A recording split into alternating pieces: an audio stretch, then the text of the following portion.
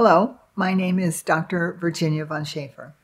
I wanted to talk to you a little bit today about uh, Epstein Barr as an oncogenic virus. I know from everyone's response to our videos that we've uh, presented about Epstein Barr and HPV and uh, different viruses that there's a great amount of interest, of course, because many people have these problems.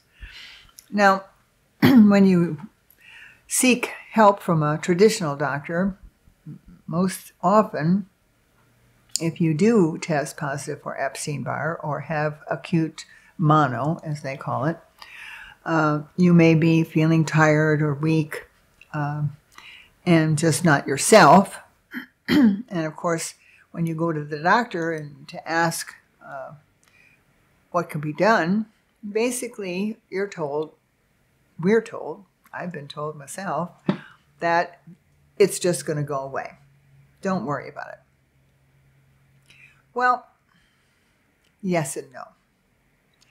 Now, there are many people who contract Epstein Barr virus and are asymptomatic, just as there are many people who get sick when they have the infection. However, the most difficult part is that if you have no symptoms and you're not aware of a problem, you won't come to diagnosis, number one. And number two, even if you come to diagnosis, there is no treatment offered, primarily because there are no specific antiviral agents that are successfully used to treat and eradicate Epstein Barr virus. Unlike herpes virus, where we have um, acyclovir, valacyclovir, a number of uh, medications, antivirals that are used uh, pretty successfully, at least to suppress outbreaks. When it comes to Epstein Barr, there isn't anything available. Now, the reason I wanted to focus on this is because there is a huge epidemic and uh, outbreak, as it were, of aggressive cancers in young people under the age of 35 years. In fact, there has been a lot of uh, scrutiny of the population of young males who are coming to diagnosis sometimes at a late stage, stage four cancer and uh, colon cancer, and there are no known or observable genetic causes for this to happen. And I noticed once I started looking at patients differently in terms of evaluating them and aggressively treating them for viruses, I saw that people's cancers went away quicker. And it made me really stop and think about the contribution that Epstein Barr can make in terms of uh, promoting and definitely perpetuating cancer. Now, we have history of uh, people who have looked into this problem for patients with lymphomas and sometimes leukemias. There's a lymphoma that was named after a doctor who uh, discovered uh, that Epstein Barr was the source of Burkitt's, now we call lymphoma. Uh, and the research that was done was very detailed in terms of understanding where the virus transfected into the patient's DNA and how it altered the patient's uh, genetic make, makeup and, and caused uh, cancer. However, after all this work done on this one particular type of lymphoma, it seems as though no one continued any interest. And I'm hoping that at some point, people will kind of pick up the ball again and do have a closer look at what Epstein Barr really does to yourselves. Now,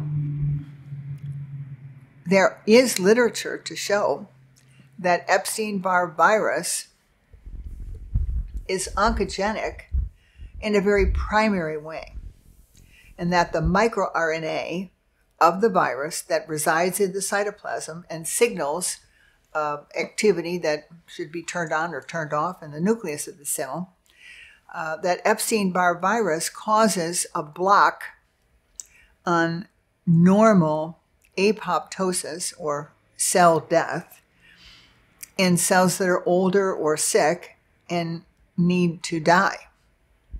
Now, the cell regulatory mechanisms are very detailed, and uh, this is a kind of an override in the natural process that is in place to help us eliminate uh, cells that are old and sick. So, if you perpetuate the life of a cell that's sick, it's going to be more likely to cause problems and have a chance to develop into uh, abnormal um, characteristics and behaviors, namely cancer.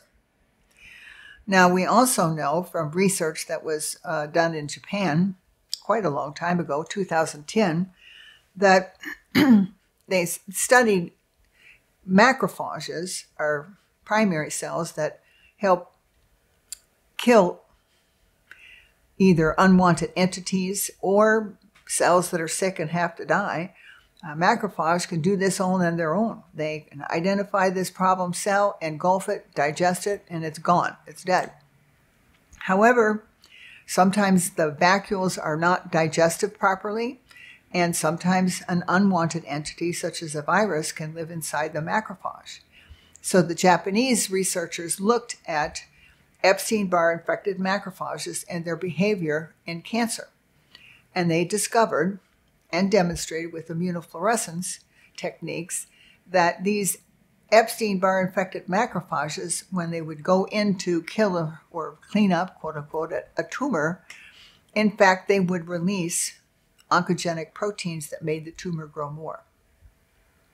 I personally have seen this happen in patients with cancer. I had a patient who had bilateral breast cancer, and both sides of both breasts had different cancers or cell types.